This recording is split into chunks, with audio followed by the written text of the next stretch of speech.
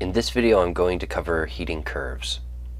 So here is the heating curve of a liquid. So what we can see is um, on this axis is the amount of heat added. And remember um, heat is a uh, is a way that we can transfer energy between substances. Um, and heat and temperature are not the same thing. So heat is um, the amount of energy that has been added to a substance, and temperature is the average kinetic energy of each molecule. So um, as I add heat to a substance, uh, some substances, their temperature changes more rapidly than others. And that's a function of their heat capacity. So remember, water, for example, has a very high heat capacity. And what that means is that as I add energy to water, as I add heat to water, its temperature changes very little. So what that means is that water can store that energy somewhere without the energy becoming the, the motion of the molecules. Because remember that kinetic energy is, is how uh, quickly the molecules are moving through space. So as I add heat to water, um, some of that energy is converted into the, the motion of molecules through space, and some of that energy is converted into other forms. So remember, as we um, as we look at water here, and we add energy to the water, if I add energy to a sample of water here, um, see what happens to some of the particles. They start to spin really fast. Look at that. They're spinning much faster than they were before I added the heat. So the motion of particles through space, like what's happening to these guys right now, them actually moving through space, that's their kinetic energy and that's a function, that's what we measure when we measure temperature, is how quickly these particles are moving through space. But there's other ways that particles can store energy, for example by spinning. If a particle is spinning really fast, then um, it has a lot of energy, but it's not necessarily energy that's being uh, converted to the motion of that particle through space. So as I heat up water, some of the energy that I add to the water is converted into the spinning motion of the molecules, and these bonds can also vibrate. So um, we can't see that here, but a bond is like a spring. So as I add heat to water, the molecules can spin around in circles. That's called rotation. The bonds can vibrate like springs. That's called vibration. And the molecules can move through space, and that's called translation. So there's there's at least three different ways to add energy to molecules depending on the shape of the molecule. So if we go to neon here, for example, and we look at liquid neon, neon can't spin because it's only one atom. And so if we heat it up, you can't tell if any of those particles are spinning, right? And uh, neon also can't vibrate because vibration requires two atoms to be stuck together and the bond is like a spring. But in neon, they're all single atoms. None of them are bonded together. So neon doesn't have as many places to store energy as water does. So neon has a low heat capacity. It can't, um, as I add heat to neon, just a little bit of heat to neon, and the whole thing falls apart and turns into a gas. But water has many places to store the energy. So as I add heat to water, it doesn't turn into a gas right away. The molecules start spinning and the molecules start vibrating. And eventually, when uh, all of those places, all of the areas that they can store energy are all filled and the molecules are all vibrating and spinning, rotating very quickly, then finally they can start uh, breaking apart and turning into a gas. So another thing that we can see here in this chart is that as I add heat to a liquid, um, as I add heat to water, it gets hotter from 20 degrees to 40 degrees to 60 to 80 and then when it hits 100 degrees the water starts boiling. But look at what happens at this point of the curve. I add more energy but the temperature doesn't go up. The only way that I'm moving at this point of the curve is horizontally, which means that I'm increasing the heat but I'm not increasing the temperature. So how can I add all of this energy to water as it boils without increasing the temperature of the water? Well, all this flat part in the curve right here is energy that's being used to break hydrogen bonds. So here, the energy is not breaking hydrogen bonds. Here, the energy is making the molecules move faster, move faster. They're moving faster. So as they move faster, the temperature goes up. They move faster, the temperature goes up. Here, it boils. So now, as I'm adding energy, the temperature is not going up because the particles are not moving any faster. So where is all this energy going? this energy right here is going to break all of the intermolecular forces in that substance, or the hydrogen bonds in this case, because we're talking about water. After all of the hydrogen bonds have been broken, then the sample can begin heating up again.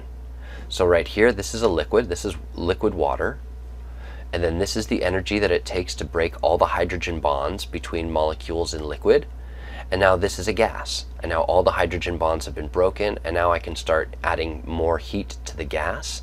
And the temperature of the gas will increase as those gas particles start going faster and faster. Right? I can heat up these gas particles.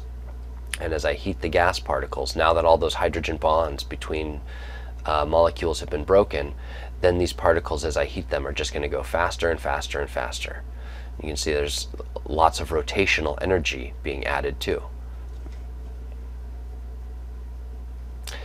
So this point in the curve is 100 degree water. This point in the curve is 100 degree steam. And this point in the curve where it's flat is where it's converting from water to steam by breaking hydrogen bonds.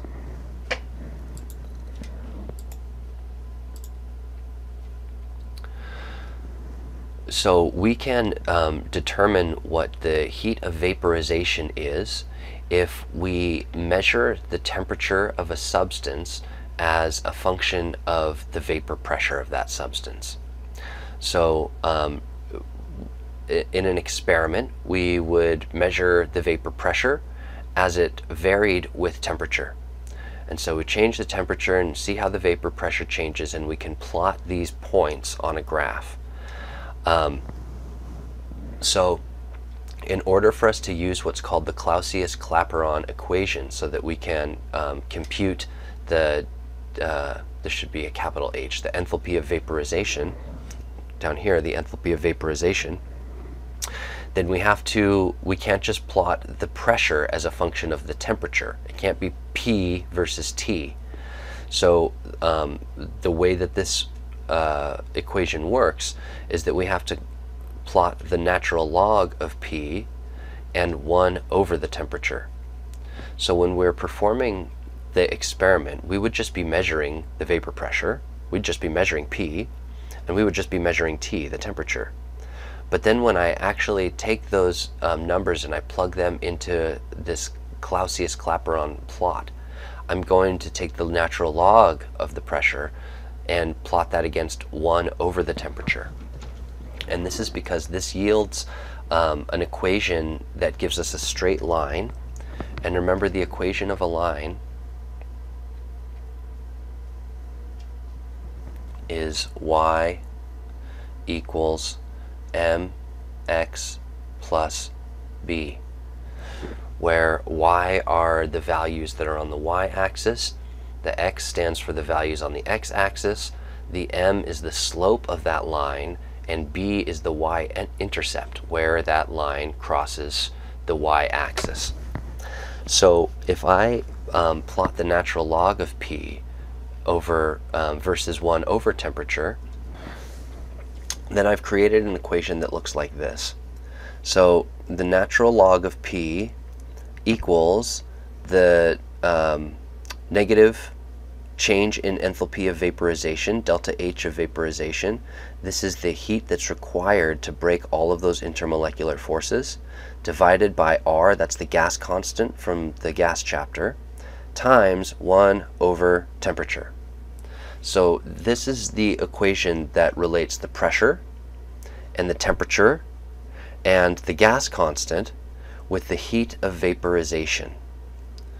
So uh, the heat of vaporization is just that flat part of the curve. How much energy does it take to break all the intermolecular forces to turn 100 degree water into 100 degree steam?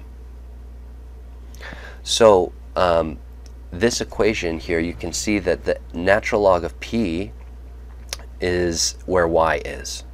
So my y, uh, for my the equation of a straight line here, nat the natural log of P takes the place of y, and those are my values here on the y-axis. And m is this whole thing here, the, um, the heat of vaporization, delta H of vaporization over R. This equals m.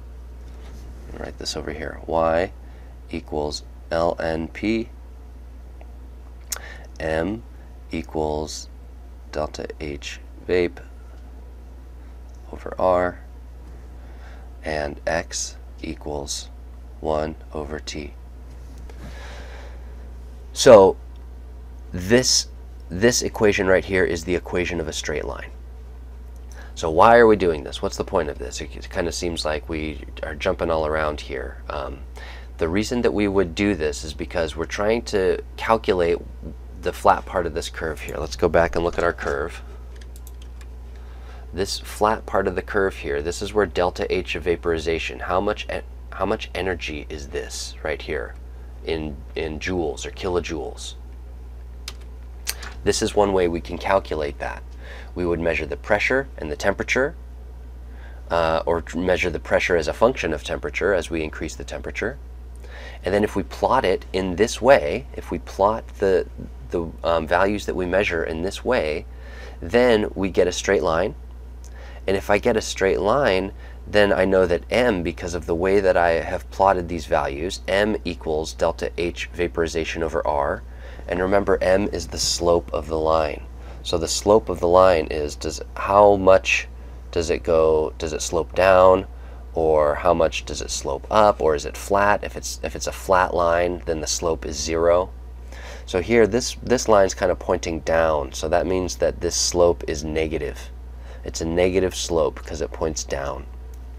So um, once I have uh, plotted a line and I solve for m and I can put the rise over run, you remember from your math class, so that we can solve for the slope of the line.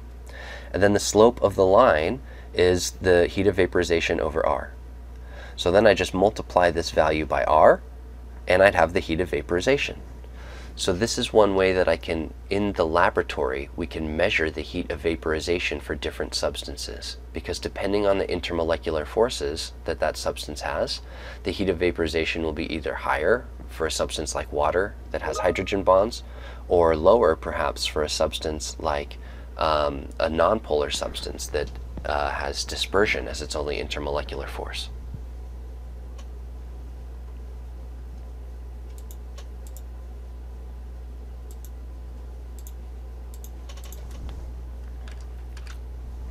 There's also a two-point form of the Clausius-Clapeyron equation.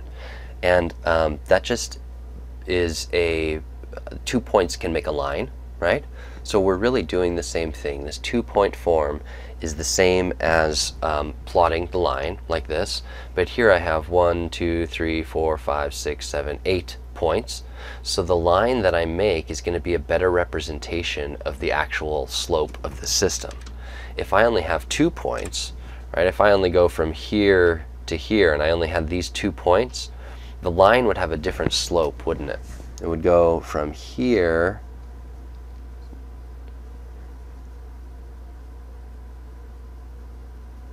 down to that one. See, it's not a it's not a very different slope. The slope wouldn't be very much different, but it would be a little bit different because uh, this point down here is below the line and this point here is above the line, so my actual line is somewhere in the middle. But here, this kind of overestimates the, the slope of this line. So that I can use two points to calculate delta H vape, the heat of vaporization. It's better to use lots of points because I get a better representation of that line. But if, the, if all I have are two points, then I can use what's called the two-point equation. And we're really doing the same thing. We're putting rise over run. Remember the slope just to remind you from math class, slope equals rise over run. And what that means is rise is how high does it go up? So that's y2 minus y1. And run is how far does it go horizontally on the x-axis, which is we can find by taking x2 minus x1 to see what the run is. So to calculate the slope of a line, we just need two, we need x, y, x1, y1, and x2, y2. We just need two points, and then we can calculate the slope. So that's what this equation is taking advantage of. My uh, y, my rise here is um, P is the pressure, and the uh, run is temperature. But remember, because I have the natural log of P and because of the properties of logarithms, rather than P2 minus P1, because of the properties of logarithms allow me to say that that's actually the natural log of P2 divided by P1. And that just has to do with, with the, the properties of logarithms. And here, um, we said that x was actually 1 over x, right? So it's 1 over x2 minus 1 over x1. So we can use this form of the equation, and if we have two temperatures and we have two pressures, then we can solve for delta H vape because I'll solve for this whole uh, part of the equation, delta H vape over R, and then I can multiply that by R, which would, then the R's would cancel, right? R, R's would cancel, and that would leave me with the delta, uh, negative delta H of vaporization. So then I can use that to calculate the heat of vaporization. So similarly to boiling, when I have a liquid that is becoming a gas, we call that boiling, and there's a, um, an enthalpy, an amount of energy associated with breaking all of those intermolecular forces to allow the liquid to become a gas. Well, similarly, we can talk about what happens when a solid becomes a liquid. When a solid becomes a liquid, intermolecular forces are broken as well, because a solid, all the particles are stuck in place, Here in the solid, all the particles are stuck in place because all of those intermolecular forces are very strong. And as I start to add energy to a solid, some of those intermolecular forces will break and the particles then gain some freedom and see the particles are now um, can move around more than they did in the solid. So another thing to notice that's interesting about water is that as I heat water, as I heat ice rather, the ice is less dense, and then when it melts into water, look, the water becomes more dense. All the particles kind of get closer together when ice melts. That's pretty odd. That's an, an odd property of water, that the solid is less dense than the liquid. But you can see that in the solid, the intermolecular forces hold all these particles together very tightly. And as the solid melts, as I add heat, what I'm doing is before I even heat the sample, before the temperature of the sample changes, the um, intermolecular forces, in this case the hydrogen bonds between the solid and the liquid, have to be broken to turn a solid into a liquid.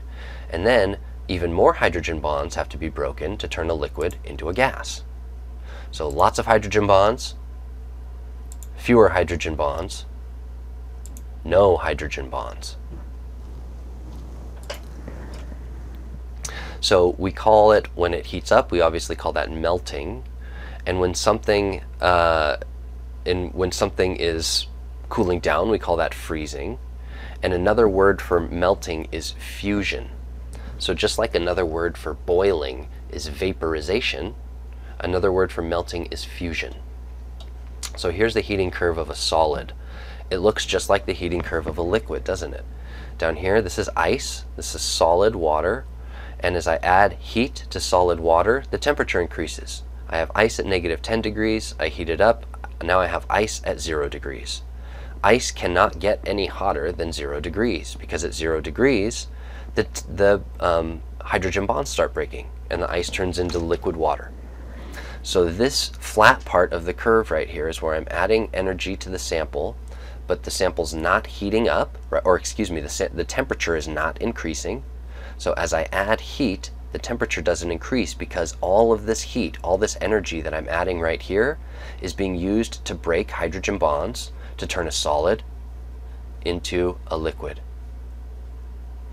So um, we can do we can also calculate the what we call the enthalpy of fusion. So the enthalpy of vaporization is how much energy it takes to boil a liquid and turn it into a gas. And the energy of fusion, the enthalpy of fusion, is how much energy it requires to turn a solid into a liquid.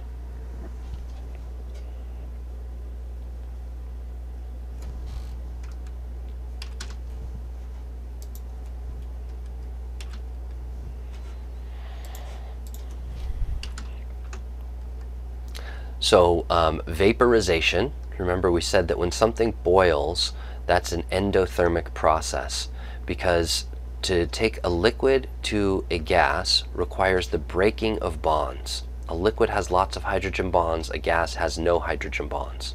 So to turn a liquid into a gas, I have to break all those bonds, and breaking bonds takes energy. So when energy is absorbed, we call that endothermic. When the energy is, is heat, it's, it's endothermic because thermic means heat, and we can absorb energy in general, and that's called endergonic. So when energy is absorbed, the energy that's absorbed is used to break bonds, in this case the hydrogen bonds, to turn a liquid to a gas. And the opposite is true when a gas turns into a liquid. If I have a gas that has zero hydrogen bonds, and it's turning into a liquid that has lots of hydrogen bonds, what's happening during that process is that bonds are being made. Hydrogen bonds are being made. When I make bonds, energy is released. So exothermic. So the heat exits the process, energy is released, and it heats up. So breaking bonds is endothermic, and making bonds is exothermic.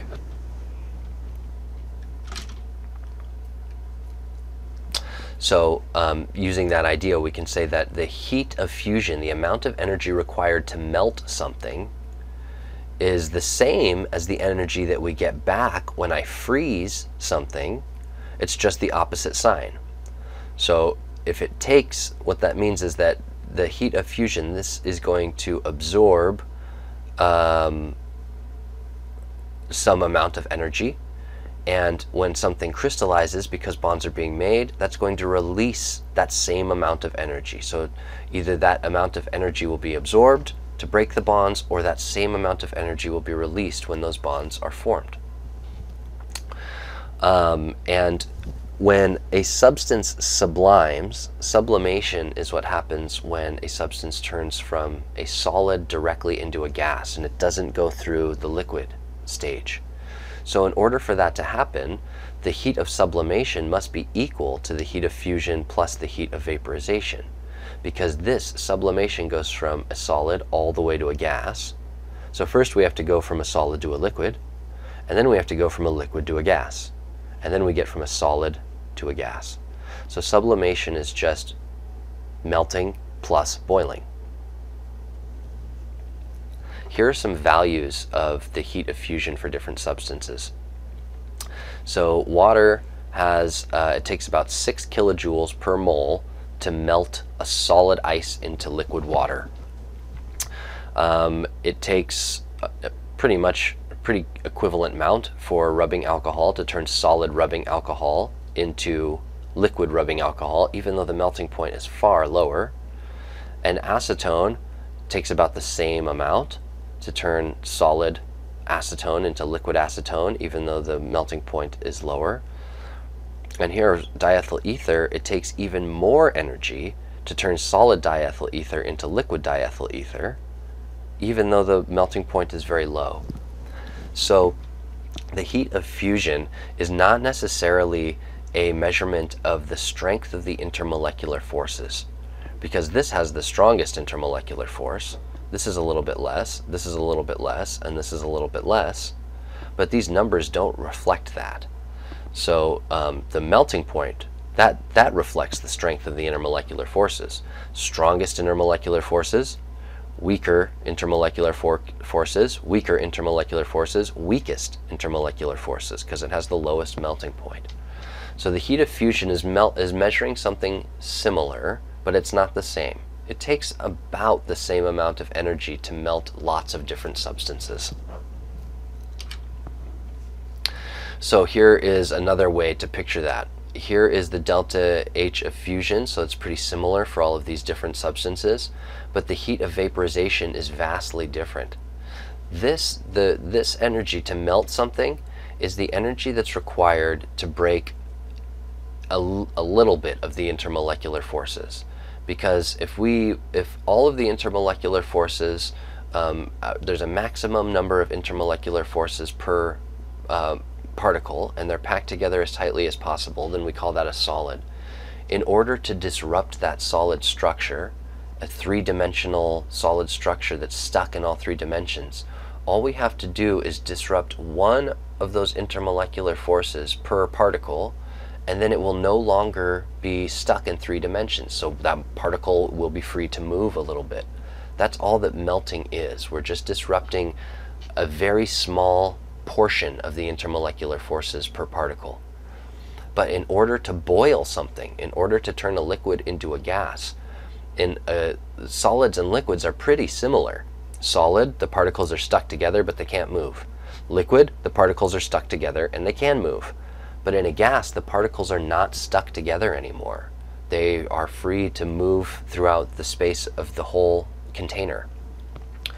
So the amount of energy required to break a small portion of the intermolecular forces to turn a solid to a liquid is not much. But in order to turn a liquid into a gas, I have to break every single intermolecular force in, in that substance. Every intermolecular force between every particle must be broken. That's what this energy represents, breaking all the intermolecular forces from a liquid to a gas. Okay, so here is the whole heating curve of water. Here is a sample of ice where all of the hydrogen bonds are strong and they're holding all the particles in place so that none of the particles can move. Solid ice. That's this part right down here. This is ice. When I um, heat ice that's at negative 25 degrees, I am adding heat. It's getting warmer and warmer and warmer. Finally, that ice hits zero degrees and it can start to melt. Segment two of this heating curve right here, this is um, fusion this is when, or um, this is when a substance reaches its melting point, and the amount of energy that I have to add to that substance before it has completely melted and turned to a liquid. So right here, this is 100% ice. Here, halfway through the curve, this is about 50% ice, 50% water, but it's still at zero degrees. So zero degree ice, zero degree ice and water, and then here, finally, zero degree water. All of the ice has melted and it's at zero degrees here. Then I can add more energy and the zero degree water starts heating up. Zero degrees, 25 degrees, 50 degrees, 75 degrees, and then I hit the boiling point of water. When I reach the boiling point of water, now I have to keep adding energy for that water to boil. Because when you hit the boiling point of water, when you're boiling some water on your stove, as soon as the water boils, it doesn't just like go from not boiling to boiling and then two seconds later the whole thing is turned into a gas, right? If you've got a pot of water boiling, it's going to take a really, really long time for all of that water to boil and all of that water to convert from water to a gas. You'd have to leave the, the water on the stove for 30, 45 minutes before all the water had turned to gas. So that is a measure of this, that's a, a representation of this energy right here.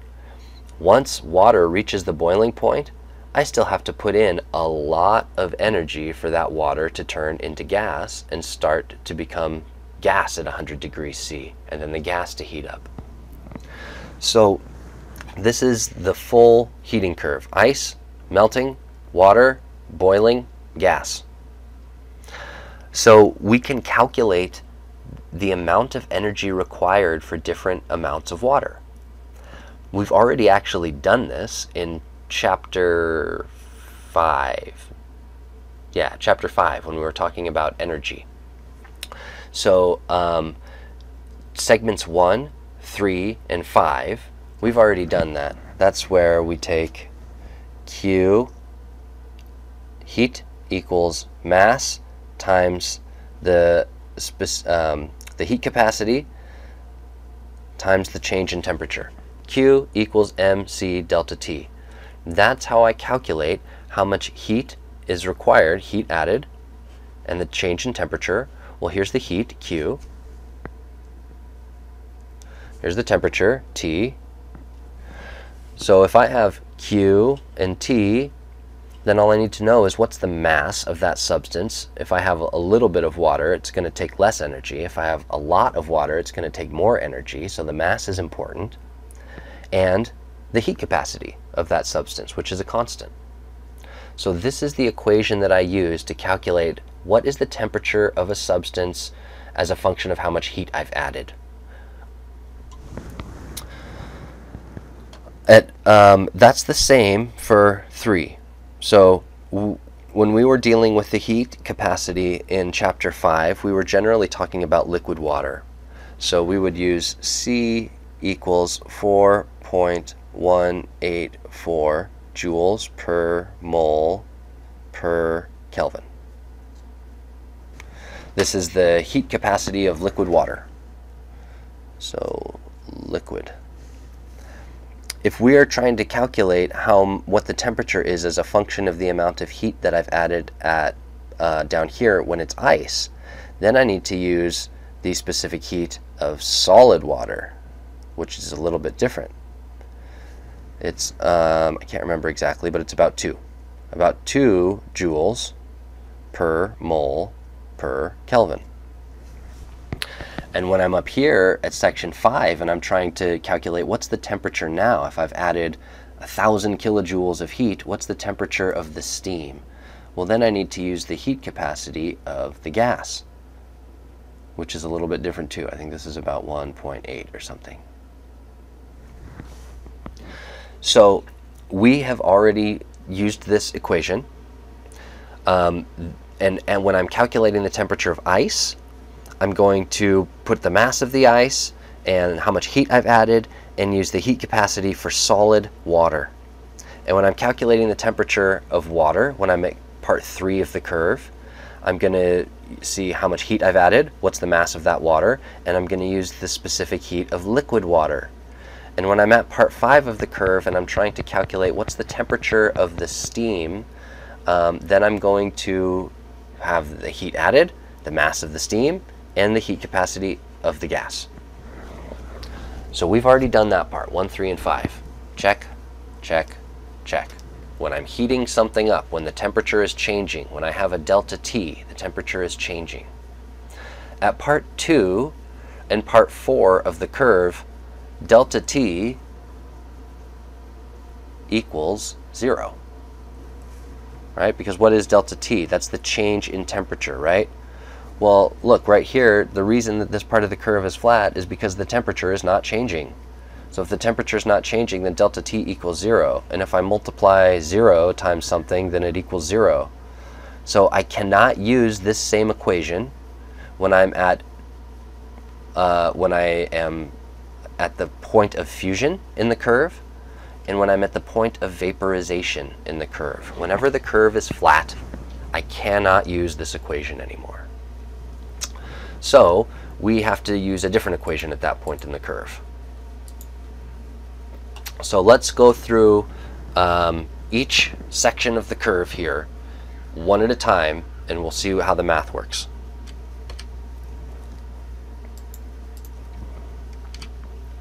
Segment 1, that's right here. I have solid ice that's at negative 25 and I'm heating that solid ice from negative 25 to 0. That's all I'm doing right now heating one mole of ice at negative 25 degrees C up to the melting point of 0 degrees C. How do I determine how much heat is necessary? Well, I know the delta T. It says I'm going from negative 25 to 0. That's the change in temperature. So if I know what the change in temperature is, then I plug that in for delta T. Remember, it's final minus initial. What's the final temperature here? 0, because I'm going up. What's the initial temperature? 25. So this is going to be delta T equals final minus initial, final temperature 0, initial temperature 25 degrees C. So don't forget the minus, or don't forget the negative. This is final minus initial, final minus initial, and initial was negative, negative 25. So I can't forget to put the negative in there.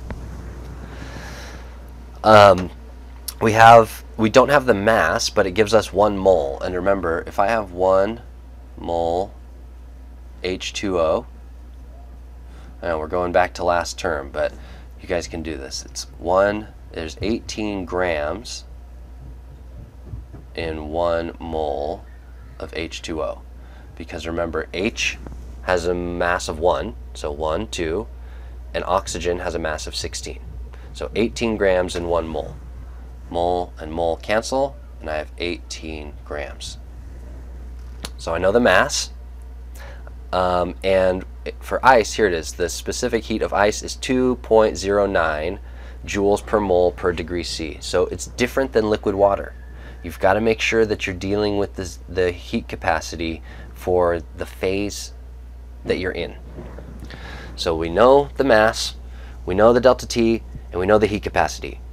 So then I just multiply them together. 18 times the heat capacity times delta T. That gives me, let's make sure that we can follow along with the units here.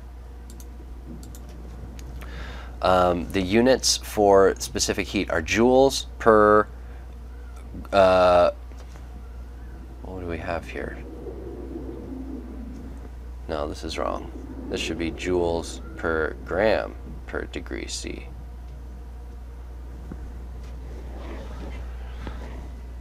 So uh, we've got grams, we've got the mass, and we've got grams down here in the units of my specific heat, so that'll cancel.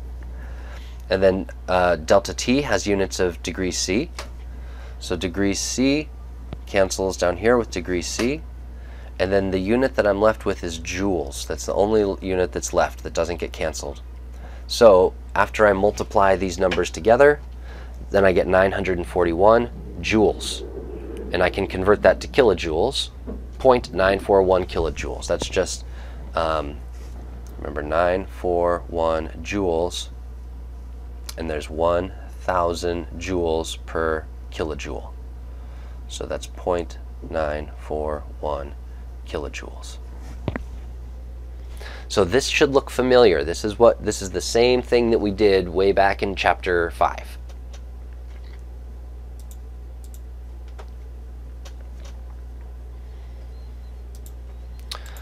All right, let's look at the next segment. Segment 2. This is the point in the curve right here where I'm melting. I've heated my ice from negative 25 to 0, and now I'm trying to heat 0 degree ice to 0 degree water. So I'm adding heat, and the heat that I'm adding is breaking the hydrogen bonds, but it's not increasing the temperature. So delta T equals 0. So instead of using that equation, we're going to use this equation. And delta H of fusion is a constant for that substance. So this is something that we would have to either look up in a table or something that we would be given as part of the problem. Uh, but delta H of fusion is different for each substance, but it's something that is calculated and that we know. For example, the delta H of fusion for water is 6.02 kilojoules per mole. So how much heat does it take to melt one mole of ice at zero degrees and heat it to one mole of water at zero degrees? Well, 6.02 kilojoules because it's this value right here says it's 6.02 kilojoules per mole. And how much do I have? One mole. So if I didn't have one mole, then I, this equation would be more useful. But as is, I have the number of moles, n, times the heat of fusion. And in this case, I have 1 mole, and the heat of fusion is 6.02 kilojoules per 1 mole. So mole and mole cancel, and how much energy does it take for this segment of the curve? 6.02 kilojoules. So keep in mind that in segment 1, I was using mass. I was using grams. Um, I had to convert my one mole into 18 grams. But in segment two, because my heat of fusion has units of kilojoules per mole, I have to leave that in units of moles. I can't convert the, if I try to multiply 18 grams times 6 kilojoules per mole, the units won't cancel. So I have to leave this with units of moles when I am multiplying it times the heat of fusion or the heat of vaporization. So keep that in mind, moles versus grams. N versus M.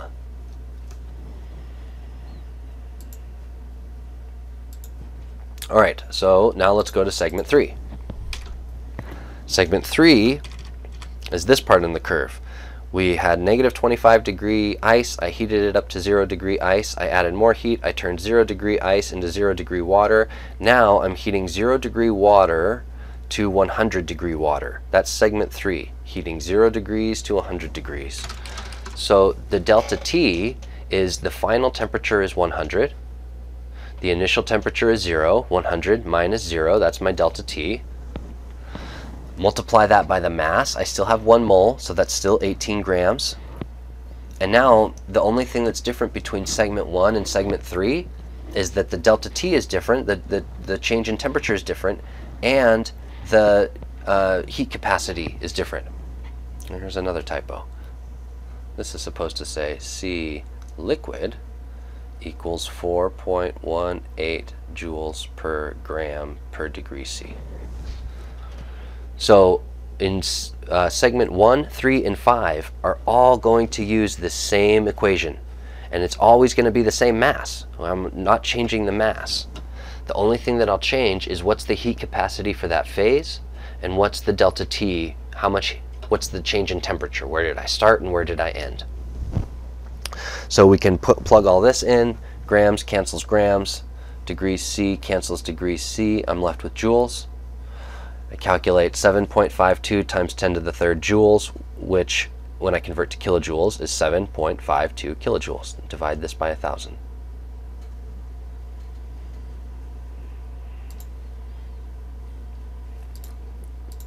Okay, so now we have heated our ice, we've melted our ice. We've heated the water, and now we have 100 degree water. We're at the boiling point of water. So segment four, this long flat part here, the temperature is not changing. Delta T equals zero. I can't use the same equation, but I can do the same thing that I did down here.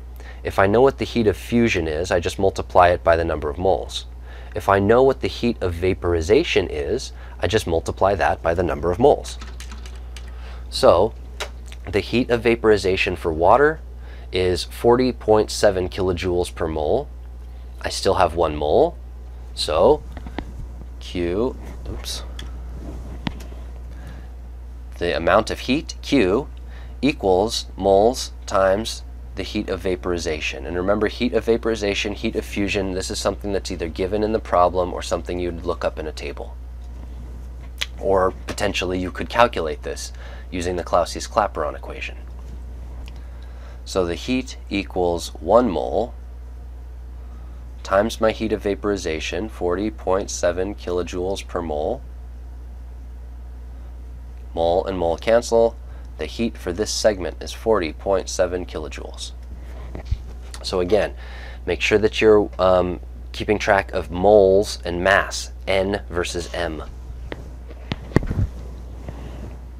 All right, and finally, we're at the fifth part, the fifth line in our our fifth segment here.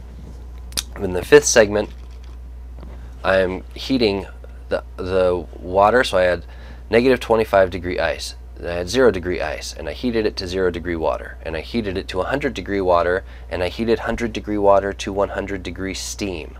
And now I have 100 degree steam, and I'm going to heat that to 125 degree steam. So my final temperature is 125 TF. My initial temperature is 100, 125 minus 100. So what's the, the change in temperature? 25 degrees.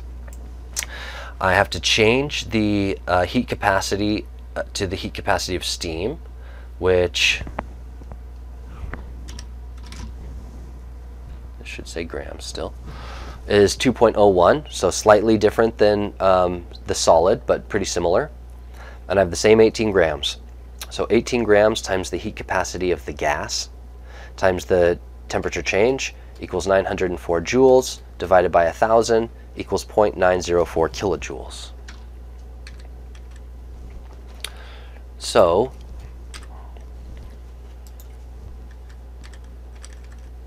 these kinds of questions are always going to ask you either to calculate the amount of heat on certain parts of the curve or maybe to calculate the amount of heat over the entire curve. So maybe the question would say how much heat is required to heat um, one mole of ice at negative 25 degrees to one mole of steam at 125 degrees. How much heat is required? Well, the amount of heat that's required to do that, we just calculated it. It's 0.941 plus 6.02 plus 7.52 plus 40.7 plus 0.904. So the total amount of heat that was required to do this. So these questions are always going to be some variation of this. Are you maybe you're heating ice from negative 25 to water at 50. Then you're only going to have to use segment 1, 2, and 3 of the curve. And your delta T is going to be different on segment 3 because you're not heating from 0 to 100, you're just heating from 0 to 50. And then you would add Q1 and Q2 and Q3 to get the total amount of heat required to heat ice to water. So those are the steps involved in these heating curves.